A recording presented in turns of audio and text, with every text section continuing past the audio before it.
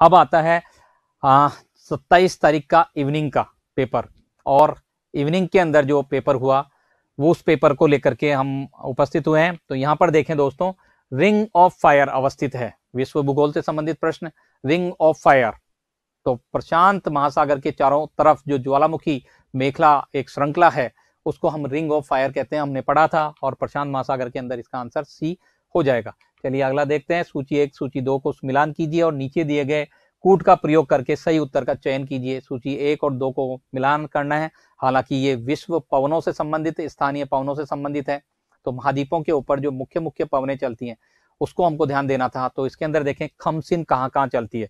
तो खमसिन जो है, वो चलती है हमारे मिस्र के अंदर। मिस्र से लेकर भूमध्य सागर से लेकर ऊपर की तरफ़ चलती है। बोरा, यदि हम बात करें तो एड्रियाटिक सागर के अंदर चलती है और लू जो है वो उत्तरी भारत के मैदानी क्षेत्र में और हरमटान पश्चिमी अफ्रीका के अंदर। गिनी की खाड़ी की तट पर जाकर के डॉक्टर विंड्स भी कहलाती है ये। तो हमने बात की थी। चलिए, इसके अंदर आंसर हमारा ए हो जाएगा। चलिए, इसके अंदर बात करते हैं। अगला प्रश्न, भारत में सर्वाधिक लाख उत्पादक राज्य है। तो ये इकोनॉमिक्स से संबंधित, लेकिन क्योंकि लाख की बात करते हैं, वन की बात करते हैं, पारिस्थितिकी की बात करते हैं तो इसके अंदर फैक्चुअल क्वेश्चन है, झारखंड इसका आंसर हो जाएगा। आगे देखते हैं। अगला प्रश्न है, विश्व से ही विश्व प्रसिद्ध ओल्ड फेथफुल गीजर अवस्थित है। हमने बात की थी उत्तरी अमेरिका महाद्वीप के अंदर यूएसए में। तो येलो स्टोन नेशनल पार्क के अंदर ये है, संयुक्त राज्य अमेरिका के अंदर, जो एक निश्चित समय पर, पैंसठ से सत्तर मिनट के बीच के अंदर, फंवारे के रूप में पानी इसका गरम गरम निकलता है। चलिए आगे देखते हैं। कौन सा एकमात्र महाद्वीप है जिसके, जिससे कर्क रेखा भूमध्य रेखा और मकर रेखा गुजरती है। सारी तीनों रेखाएँ गुजरती है मुख्य। तो अफ्रीका के मध्य से भूमध्य रेखा, उत्तर, थोड़ा उत्तर से सारा मरुस्थल से कर्क रेखा और कालाहारी मरुस्थल से मकर रेखा गुजरती है। तो यही हमारा आंसर ए सही हो जाएगा।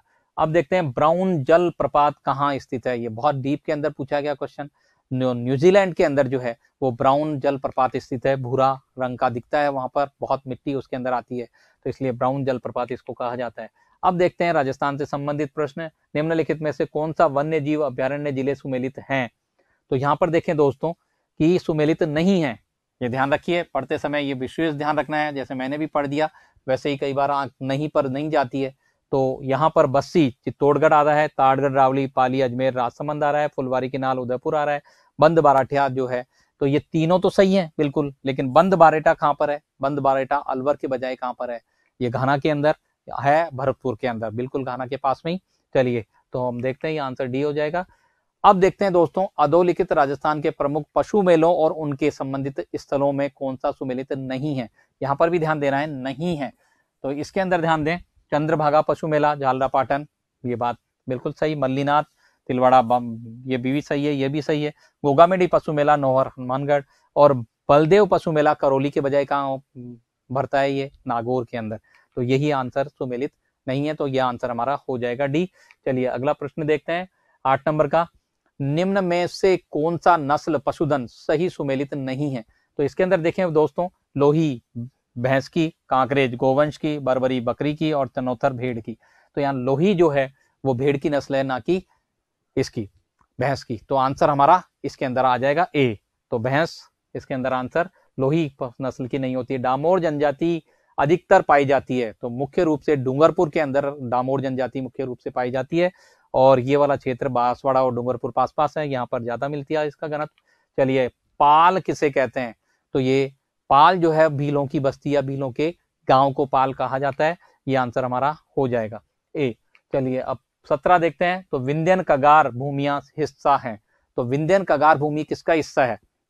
राजस्थान के अंदर, दक्षिणी पूर्वी पठारी प्रदेश जब हम पढ़ते हैं तो मालवा, पठार और विंध्यन कगार भूमि दो भागों के अंदर उपभागों में इसको बांटते हैं। तो ये हमने पढ़ चुके हैं। दक्षिणी पूर्वी राजस्थान का, पठारी प्रदेश का ही भाग ये है। चलिए आगे देखते हैं। माही नदी का किनारा कहलाता है। तो माही नदी का किनारा, माही नदी का बेसिन छप्पन का मैदान कहलाता है। देवल, कांठल और थली। थली तो हम बात कर चुके हैं। तो यहाँ पर कांठल जो है, वो माही नदी का किनारा कहलाता है। तो कांठल इसको कहा जाता है। चलिए प्रतापगढ़ और ये वाला जो क्षेत्र है, बांसवाड़ा और डूंगरपुर का क्षेत्र इस क्षेत्र में कांठल क्षेत्र इसको कहते हैं। अब सूची एक और सूची दो को मिलान कीजिए और नीचे दिए गए कूट का प्रयोग करके सही उत्तर का चयन करना है। तो यहाँ पे झील और बाँध दे रखा है और जिला दे रखा है। तो इसके अंदर ध्यान दें दोस्तों तो क्या आएगा इसमें?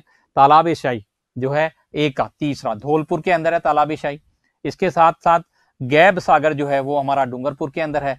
और कडाना बाँध, ये एक ध्यान देना था दोस्तों, ये बांसवाड़ा में नहीं है। कडाना बाँध जो है वो गुजरात के अंदर है, यहाँ पर ये ऑब्जेक्शन उठ सकता है क्योंकि आंसर इसका सही नहीं है और हेमावास बाँध जो पाली के अंदर है ही। तो ये तो सही है, तीन तो सही है, लेकिन यहाँ पे ऑप्शन बांसवाड़ा नहीं होकर के गुजरात होना चाहिए था कडाना बाँध। तो ये आंसर हमारा निकल जाएगा, लेकिन यदि हम बाकी तीन भी हमें ध्यान है तो। चलिए आगे देखते हैं, निम्नलिखित में से कौन सा कृषि जलवायु खंड क्षेत्रफल के अनुसार राजस्थान में सबसे बड़ा है? तो राजस्थान में सबसे बड़ा है, इनमें से क्योंकि राजस्थान का सबसे बड़ा तो इसमें दिया ही नहीं गया है। वन ए है, लेकिन ध्यान दें, इनमें से जो उपलब्ध कराए गए हैं, इनके अंदर से वन जो है, कौन सा है इसके अंदर? Two A. ये वाला सबसे बड़ा है। अब इसके अंदर देखें दोस्तों कि तो टू ए जो है, वो छत्तीस पॉइंट नौ तीन लाख हेक्टर है और सेकंड नंबर पे आता है टू ए। ऐसे ही हम देखें, वन ए, ये वाला जो है, वो फ़र्स्ट नंबर पे आता है। एक सौ चौबीस पॉइंट तीन दो लाख हेक्टर भूमि के साथ में ये आता है। तो ये क्षेत्र जैसलमेर का जो है, बीकानेर, चूरू और जोधपुर का क्षेत्र इसके अंदर आ रहा है। पहला ही ये क्षेत्र है, पश्चिमी रेतीला मरुस्थलीय प्रदेश वाला भाग है, जो सबसे बड़ा है। ये तो नहीं था इसके अंदर ऑप्शन में, लेकिन सेकंड नंबर वाला पूछा गया तो ये भी ध्यान देना था।